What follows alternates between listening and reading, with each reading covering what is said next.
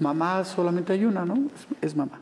Claro. Por mucho que te den cariño tus tías o tus hermanas, el, eh, tú, vienes de ese vientre, ese vientre te llevó nueve meses, te enseñó a comer, a caminar, te dio el pecho para que te alimentaras, y yo creo que eso está dentro de nosotros sin darnos cuenta, ¿no? Ahí, ahí, ahí está en nuestro subconsciente ese tiempo de niñez y de, de crecimiento maravilloso entre los brazos de alguien que te ama porque pues, te tuvo en, en su vientre nueve meses. Claro.